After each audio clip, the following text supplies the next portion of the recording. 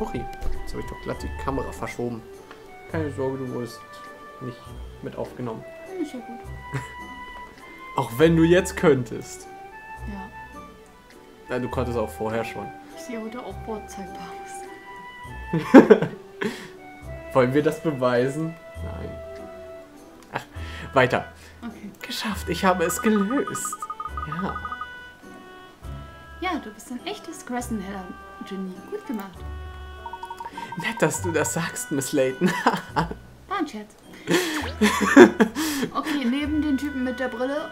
Neben dem Typen mit der Brille da Ja. ist eine Hinweismünze. Okay. Ähm. Oh, da ist ein, eine Kuriosität. Ja.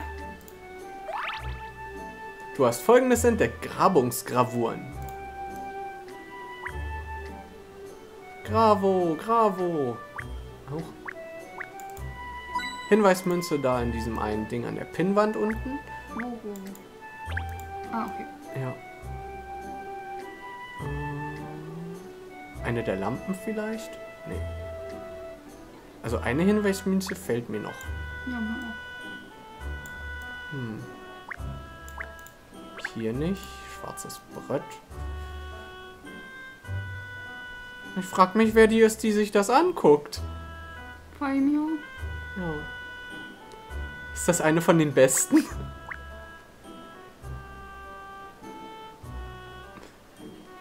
Hm. Ich sagen, gibt keine mehr. Waren das nur zwei? Ja. Niemals. Das kann nicht sein. Doch, also, also bei mir klappt nichts mehr. Bei mir auch nicht.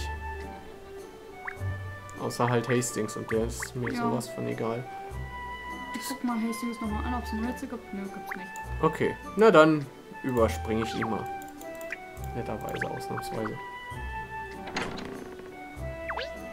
Erinnert mich gerade an Kümmere dich um 13? Ja, ähm, das ist bei Ruf des Phantoms. Mhm. Ähm, bei der Putzfrau im Anwesen der Tritons. Ah, Ähm, kümmer, da hatte. Ähm, irgendwas mit einem B? Ja. Ah, Kümmere dich um B. Da äh, steht 13 drauf mhm. und dann ähm, gibt es irgendwie drei Art Vorhänge. Mhm. A, B und C und Mhm. um welche sollte sie sich kümmern? Ja, um B. Um B, genau. Okay, so, äh, wollen wir mal den Cockbooker, Ja. den Cockblocker. Der hat ja einen Block, also ist er ein Cockblocker. Mhm. Entschuldigen Sie, Cockbooker, ob Sie wohl mal etwas, ob ich Sie wohl etwas fragen durfte? Haben Sie Dekan Dämone irgendwo gesehen? Den Dekan? Also, laut meinen Aufzeichnungen, ja, offenbar habe ich ihn, äh, nach ihm gesucht. Ich wollte ihm ein paar Fragen stellen. Aber scheinbar, wenn man meinen Aufzeichnungen Glauben schenken kann, war er gerade nicht auf dem Campus. Ach, schade, nicht auf dem Campus. Wissen Sie zufällig, wo er sein könnte? Mm, Bei Scotland Yard, soweit ich weiß. Er wollte sich mit Inspektor Hastings treffen. Oh, Oh, ja, äh, oh, das ist aber schlimm, wenn man montags mit einer Doppelstunde Mathe den Unterricht beginnen muss. mhm. Obwohl mittlerweile finde ich, ich habe eigentlich, obwohl ich, ich fand Mathe eigentlich nie so schlimm, außer zu der Zeit, wo dann auf einmal diese ganzen Sachen mit Graphen und Also äh, mittlerweile finde ich Mathe auch nicht mehr so schlimm. Ich fand Geometrie immer scheiße, also diese Geometrie. ganzen oder oder Funktionen und so weiter. Funktionen waren kacke. Ja, obwohl ich komischerweise so programmieren kann und äh, Funktionen, in der? Hinsicht ja auch vorkommen. Funktionen konnte ich Aber- zwar jetzt in den letzten paar Jahren. Aber ich fand immer aber Nullstellen berechnen kacke. Das war am einfachsten. Also ja, je nachdem, was es war, wenn es Ja. über, über, über, wie hieß das nochmal? Polynomdivision. Polynomdivision. Oh, das war immer ein Kack. So grässlich, ja. Vier Stunden Bautechnik. Das ist cool. Mhm. Oder Bauzeichnen, okay, das ist. geht noch, aber. Ja, aber das liegt auch nur daran, dass Leighton vs. Ace Attorney noch mittendrin ist. Ja, und genau, weil wir, wir werden ja sicherlich noch 20 Aufnahmen brauchen für die letzten paar Minuten des Spiels. Ja, wahrscheinlich. Oh Mann. Okay, weiter hier. Ähm, oh, aber wir haben den Inspektor gerade drin getroffen. Eine, Über eine Fanübersetzung zum Layton-Anime? Der in Japan läuft? Welcher? War das zu Catriel oder zu... Ich habe keine Ahnung. Also ich glaube, es, es, es war eher einer zu Catriel angedacht als zu Layton selber, oder? Ich weiß es nicht. Also ehrlich gesagt, das ist mir jetzt auch gerade ein bisschen neu. Und ich kenne mich aus mit Layton. Und was da so passiert. Aber ich glaube, ich habe eher davon gehört, dass halt ein Anime vielleicht noch zu Catriel eher. Mal sehen. Vielleicht irre ich mich auch. Ja, es Ja. läuft Lady Layton. Ja, da, davon habe ich was gehört. Könnte man mal sehen, ob man das machen könnte. Aber ehrlich gesagt, ich bin ja noch nicht mal mit, mit Ace Attorney fertig. Mhm. Aber im Trailer war Layton mit drin. Okay. da hat wohl jemand Caps benutzt. Aber wenigstens trotzdem Groß- und Kleinschreibung beachtet. Nee. Doch. Also, das, Okay. das J hätte groß sein sollen Ja, und dafür. also, also ja, alle, okay. wenn man alles umdreht, ist es. Aber ja. mit drin? Ja. Drin. Drin. Okay. Ich. Gerade eben waren wir in dem Gebäude drin. Ja. Okay, komm. Okay. Gerade das drin. hast du noch gar nicht gesagt. Ach so, oh. Oh, aber wir haben den Inspektor gerade drin getroffen. drin getroffen. Dann haben sie einander wohl verpasst. Ja, äh, ich äh, notiere mir das mal schnell. Schmal schnell. Offenbar müssen wir jetzt zurück nach Scotland Yard. Wir müssen den Dekan finden. Mit ihm wolltest du also reden, um in Dr. Ohms Labor zu kommen? Ja, ich musste ohnehin ein paar Sachen mit ihm besprechen. Ach stimmt, es gibt ja auch das große SZ. Aber das, das wird trotzdem nicht durch das kleine SZ mit Großschreibtaste geschrieben. Das ist voll gemein. Ich hoffe, die ändern das noch irgendwann auf Tastaturen. Da muss halt das Fragezeichen woanders hin. Dir dann schrecklich, sich umzugewöhnen. Ja, aber wenn man es einmal dann drin hat. Außerdem, es gibt ja noch diese Leute, die echt auf die Tastatur gucken. Wo ist das Zeichen jetzt? Die, die werden sich nicht umgewöhnen müssen. Ja. Die müssen sich eher an alles gewöhnen. Okay. Okay. Ja. Habe ich schon vorgelesen. Ja, ich habe das schon vorgelesen, Ja. meinst du? Ja. Okay. Meine Güte, das wusste ich gar nicht. Du kennst tatsächlich den Dekan, Miss Layton? Das ist ja unglaublich. Du bist unglaublich. Er ist schon seit Ewigkeit Leiter der Gressenheller Universität und sicher einer der berühmtesten Menschen Londons. Und ich habe gehört, er trägt eine Perücke. Eigentlich kennt mein Vater den Dekan, nicht ich. Dein Vater? Das erkläre ich den anderen mal. Jetzt müssen wir einmal schleunigst zurück zu Scotland Yard. Du hast, da, da hast du nicht Unrecht. Nicht, dass wir ihn auch noch verpassen. Auch noch verpassen oder so. Eben. Also Bewegung. Gemeinsam liefen wir zurück zu Scotland Yard. Ich war noch immer hin und weg davon, dass Miss Layton den Dekan kannte. Ja, Ernest hat schon immer so gay gesprochen. Ja. Ja. Wie kam es, dass diese junge Detektivin mit einem der führenden Gelehrten des Landes bekannt war?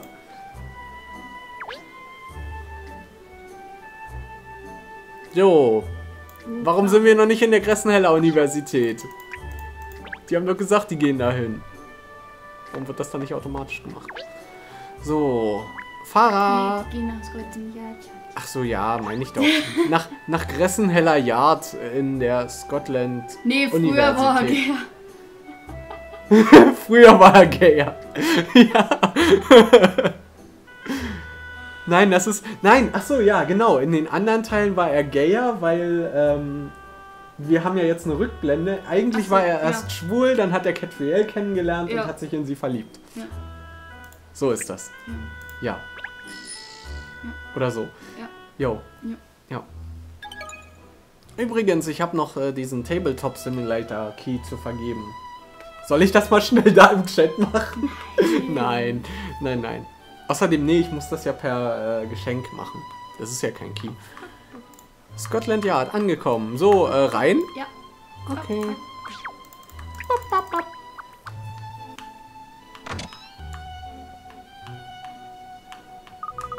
Achso, wo ist der? Ah, da drüben steht er ja. Moment mal, war meine Erklärung jetzt nicht völlig falsch? Ja.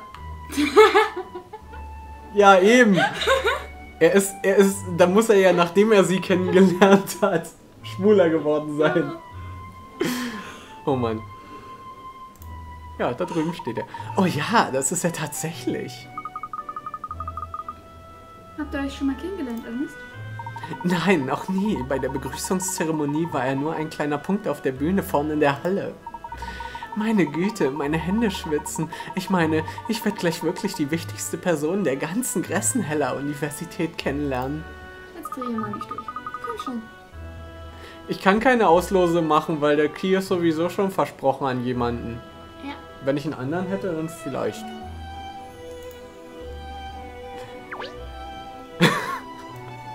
Dieser Wischmob. Sag mal, ist das seine Frau? Das wär's ja. Wollen wir mal trotzdem mit ihr sprechen, ob sie was zu ihm zu sagen hat? Mal. Okay. Angeblich neigt Inspektor Hastings dazu, den Wald vor lauter Bäumen nicht zu sehen. Aber alles in der Haltung ist ein grandioser Polizist. Er liebt seine Arbeit so sehr, das habe ich schon mal gesagt. Stell dir mal vor, Leute wären im Real Life so. Du gehst zu denen hin, guckst die an oder tippst die so an und die sagen immer das Gleiche. Hallo. Das bringt mich auf ein Video, was man mal machen pink. könnte. Nein, das ist. Beere. Das ist Bärenfarben. Das ist echt Beere. Ja, das ist Bärenfarben. Okay. Hm. Vielleicht ist es auch äh, Saturday Night Fever rosa. Ein Rätsel. Hallo, Dekan. Wir haben uns lange nicht gesehen, was? Oh, Catriel, Catriel Layton. Beim Karo-Muster meiner Socken, die übrigens bärenfarben sind. Was? Welches Spiel ist nicht in Deutsch? Hä? Egal. Es ist wirklich schon eine Weile her. Wie geht es dir denn, meine Kleine? Sehr gut, Dankeschön. Sie haben sich ja überhaupt nicht verändert. Sag an, wie geht es denn deinem Vater? Ich habe, äh, den habe ich tatsächlich auch schon ewig nicht mehr gesehen. Ich auch. Das war jetzt mein persönliches Wein, nicht ihrs. Was denn? Ja, ich weiß, es ist sehr traurig, dass Professor Layton nicht in diesem Spiel vorkommt. Ja. Es Tut mir sehr leid für dich. Hm. Was? Verschwunden?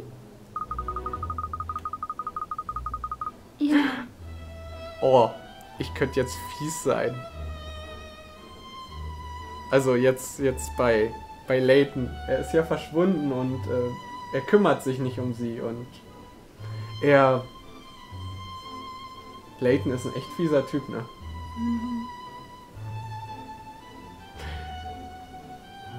Ich würde jetzt so gern einen Witz drüber machen, aber... Mm -mm. Ja, der Fall wird sogar bei hier bei Scotland Yard untersucht, aber bisher ohne Ergebnis. Deswegen wollte ich Sie ja sprechen. Wissen Sie vielleicht, wo er sein könnte? Bei Mensch ärgere dich nicht ist die deutsche Sprachausgabe unheimlich wichtig. Also ich meine, es gibt ein paar Spiele bei Tabletop Simulator, wo man schon wissen muss, worum es geht. Aber Ja gut, aber ich meine, man kann ja auch deutsche Versionen davon machen. ja, eben. Also es gibt ja bei Tabletop Simulator gibt es ja äh, je nachdem, also kann man ja aus dem Workshop runterladen und da gibt es ja auch von allem möglichen, von Cards Against Humanity gibt es ja auch Mhm. deutsche Versionen zum Beispiel dort. Mhm. Also im Grunde ist bloß das äh, User Interface Englisch Mhm. und der Rest, was man halt draus macht. Naja, äh, hast du das schon? Ja, Okay. Ich habe keinen blassen Schimmel auf dem Kopf. Äh, tut mir sehr leid, Catriel, ich würde zu gern mehr helfen. Trotzdem würde ich mir um den alten Hirschel keine Sorgen machen, wo immer er auch ist, es geht ihm sicher blendend. Wahrscheinlich taucht er schon bald wieder auf, als wäre nie etwas gewesen. ja, da haben Sie sicher recht. Aber sehr praktisch, dass ich dich hier treffe. Meine Nichte hat mir mal wieder ein Rätsel. War es nicht eigentlich seine Enkelin? Meine, En meine Nichte, die gleichzeitig meine Enkelin ist. Wie soll denn das gehen? Warte mal, eine Nichte ist doch normalerweise das Kind vom, Vom Geschwister. Ja.